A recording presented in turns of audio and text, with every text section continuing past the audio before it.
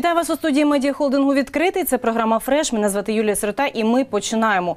У війну виникає безліч питань пов'язаних із захистом прав військовослужбовців, куди вони або члени їхніх родин можуть звернутися. Запитаємо у гості, який є першим у нашій студії. Отож, е, сьогодні е, відповідати на ті та інші питання буде Володимир Шаблистий, завідувач кафедри кримінально-правових дисциплін навчально-наукового інституту права та інноваційної освіти Дніпропетровського державного університету внутрішніх справ, доктор юридичних наук і професор.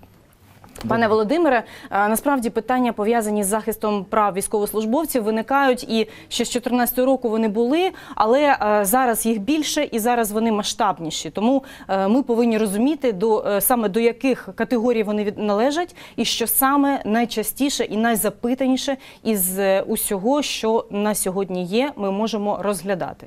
Отож, які ж питання найчастіше трапляються? Доброго дня, вітаю ваших всіх глядачів.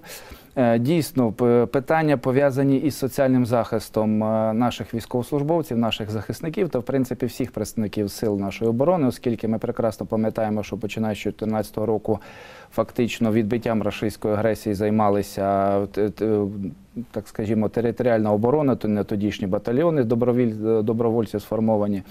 І питання соціального захисту дійсно стоїть, оскільки, по-перше, держава починаючи тоді з 2014 року прирівняла їх до учасників бойових дій. По-перше.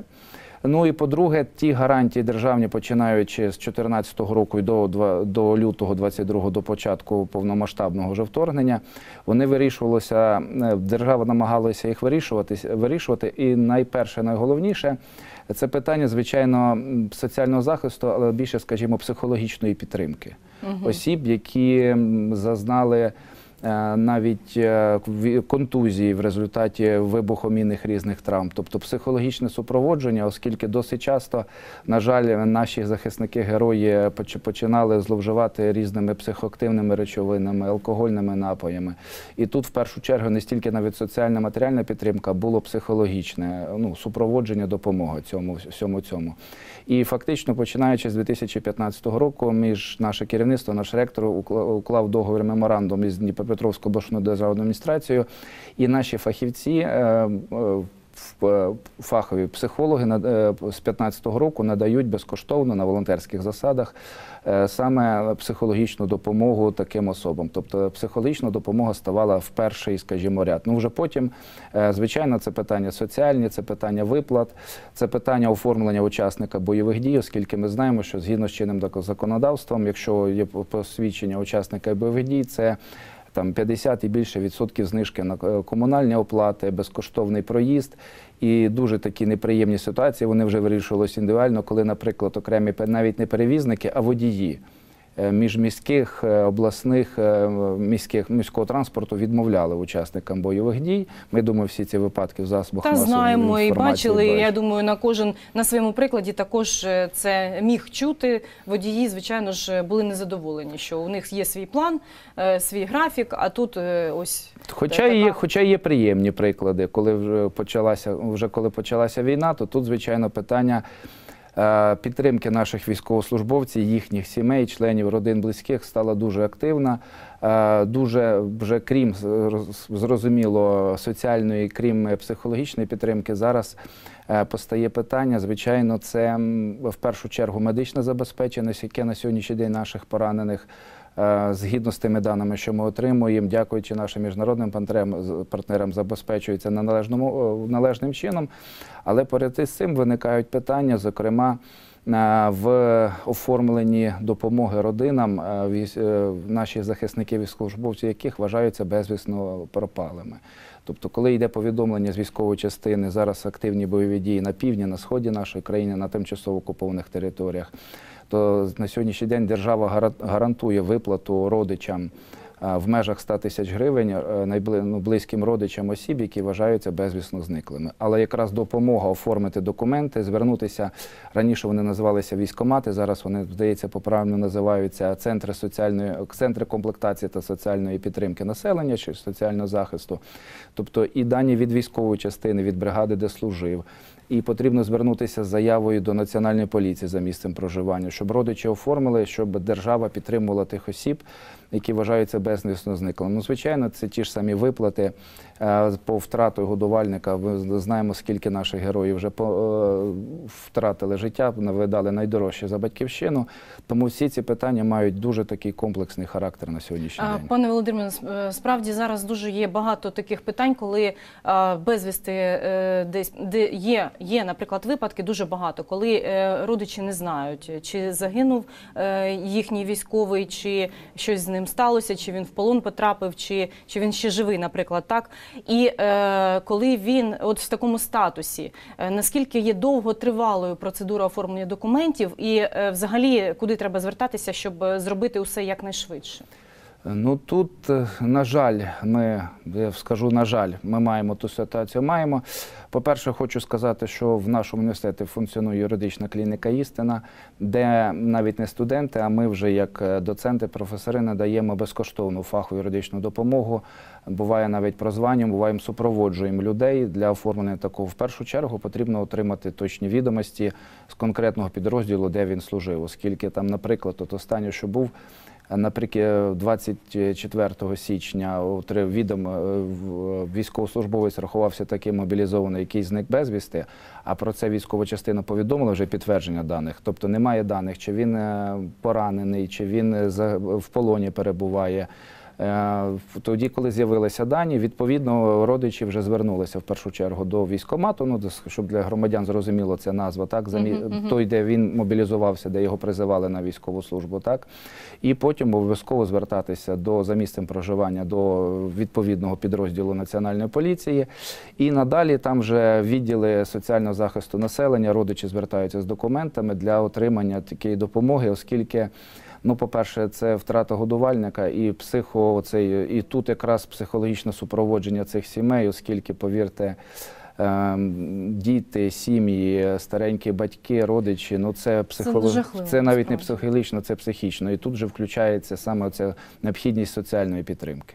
А Якщо всі на усіх рівнях люди будуть розуміти, з розумінням ставитися і пришвидшувати усе, що від них залежить. Тобто, якщо ви можете швидше оформити документи, так то не треба затягувати, і треба все робити як, як найкраще для тих людей, які справді мають зараз е, е, такі е, психо, такий психологічний стан. Їм взагалі не до того, і е, навряд чи вони би ходили по цим всім інстанціям і оббивали пороги, але потрібно. Але треба це робити, бо якось треба родині Ну, жити да, далі. І ми це все розуміємо. Ми більше того, тут навіть ви знаєте, звернутися вже до е, лікаря, е, ну вже мабуть до психіатра, навіть щоб навіть е, здавалося банальне звернення до психіатра з метою тим, щоб випитав, виписав рецепт на антидепресанти і на якусь вже психоактивну дозволену медичну підтримку організму, щоб якось це хоча б по початку пережити.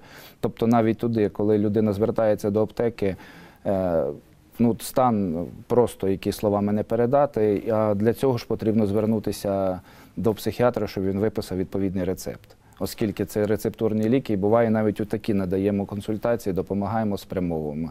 Тобто і зараз досить багато юридичних е, і адвокатів юридичних компаній міста Дніпро і інших міст надають такі, скажімо, супроводжують, е, ну всі це здійснюють безкоштовно на, на волонтерських засадах, що дуже звичайно приємно, але сам на сам найважливіше не залишатися. Буває, родичі, близькі сусіди е, цікавляться і вже допомагають, оскільки, якщо там, наприклад, старенька мати залишилася, то вона сама оббивати пороги, скажімо, так в лапках всіх цих інстанцій і звертатися, ну вона фізично не може. Ось з приводу цього хотіла запитати, хто саме може вирішувати такі питання, адже потрібно мати е, юридичну підставу. Потрібно розуміти, що е, будь-кому е, не будуть давати відомості, і навряд чи зможе людина оформлювати Ну, документи. ну, звичайно, це ну, в найближчі родичі, скажімо так. Потрібно документальне підтвердження, оскільки в військкоматі є чіткі дані прізвище, ім'я по батькові, місце проживання хто, і потрібно звернутися е, вже, щоб документально підтвердити, що ну,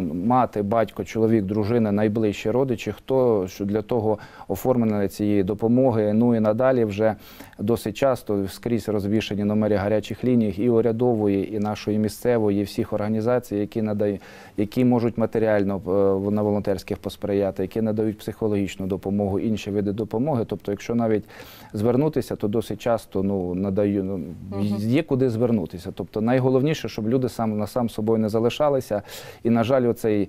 Е, Такий випадок, е, навіть не знаю, не людський злочин, то що ми бачили ракетне знищення будинку під'їзду на нашій набережній в місті Дніпро. І дійсно, якраз тут більшості ви бачите, що не тільки Дніпро, вся країна, весь світ включився, і ну люди сам соб- сам самі собою тут не залишилися. Так, так, це справді е, така величезна єдність людей, і ми це побачили. І е, справді все, що могли, зробили для того, щоб людей підтримати.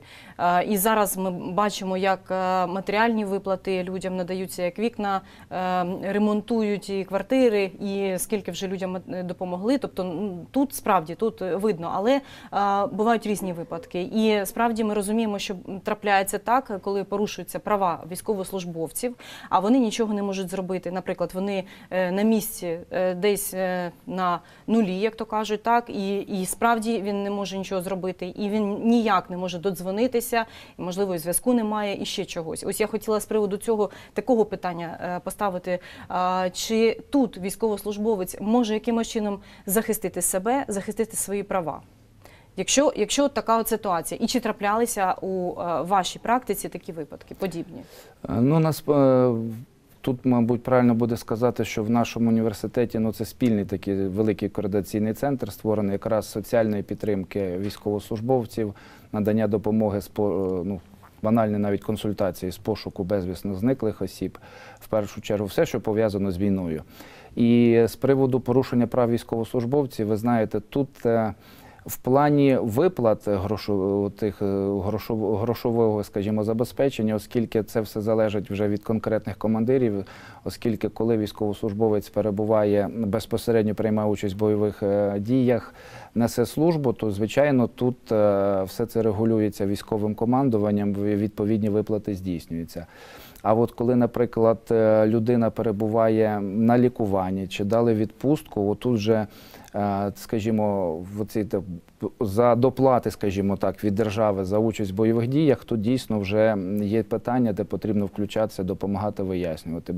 Буває, звичайно, були випадки, ну і колеги-адвокати ділилися, коли особи зверталися з тим, що ну.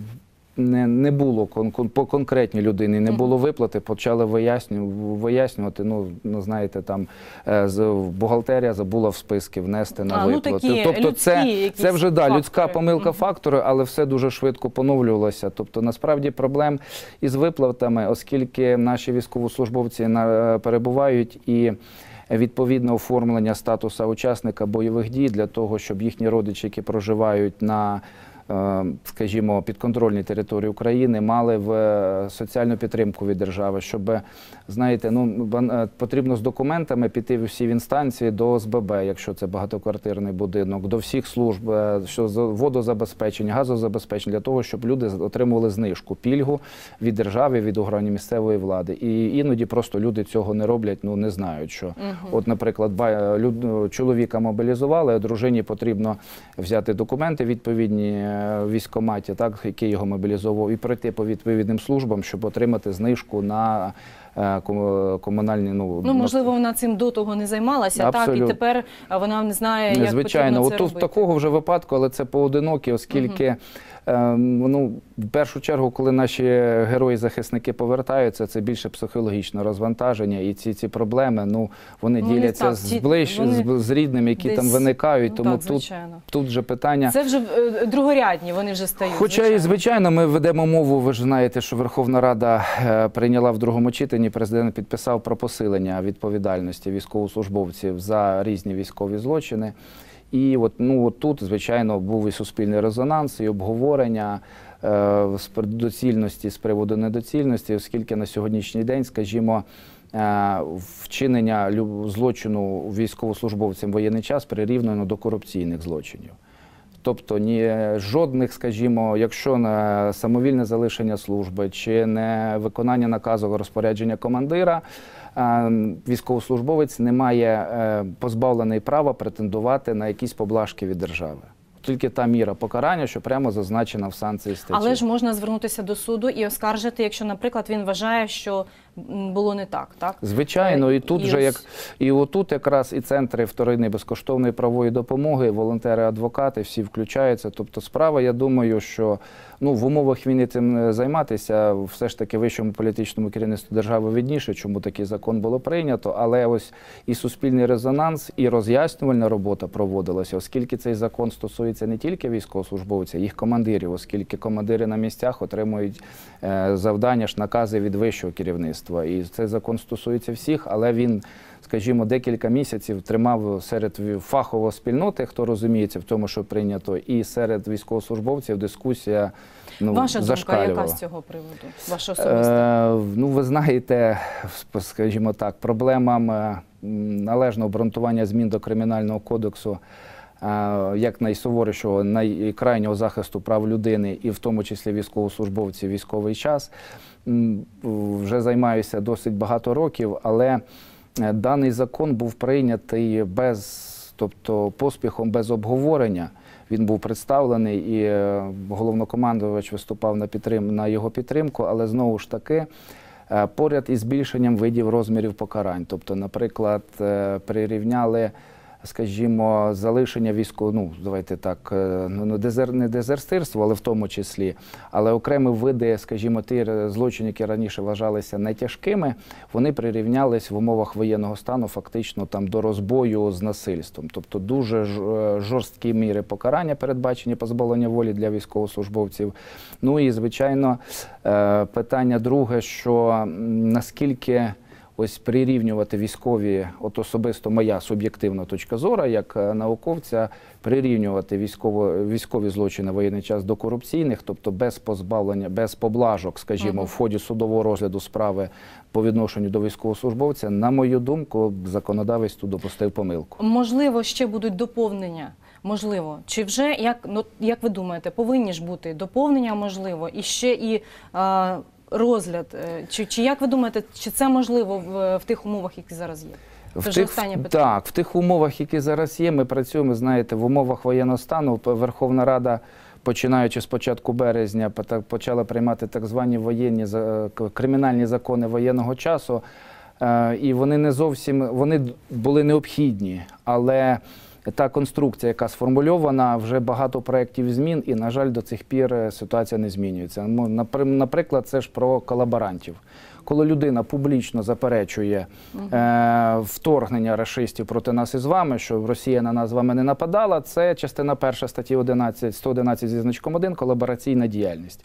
Але вид покарання від 10 до 15 років позбавлення права працювати на державу, отримати зарплату з державного бюджету. Ну от якщо людина безробітна, пенсіонер публічно на базарі заперечує, що на нас напали.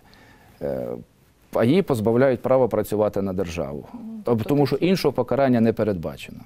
Все треба допрацьовувати. Так Да, От, і- ну тут, тут, тут дуже багато над чим є, є над чим працювати. Я вам дуже дякую, пане Володимире, що ви сьогодні а, все змогли розкласти по поличкам. Ну, і наскільки це, намагався наскільки, зрозумілою так, мовою, Звичайно, так. звичайно. Я сподіваюся, що багатьом військовослужбовцям, їхнім а, родинам і взагалі хто опікується цими питаннями, буде корисно, і вони будуть знати, куди треба звертатися. Ще раз нагадуємо, що вони можуть звернутися і як до вас особисто, так і до тих усіх служб, які зараз працюють безкоштовно, і це все можна вирішувати.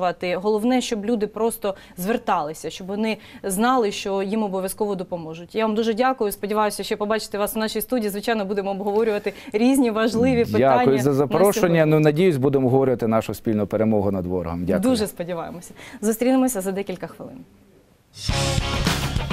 Дякую.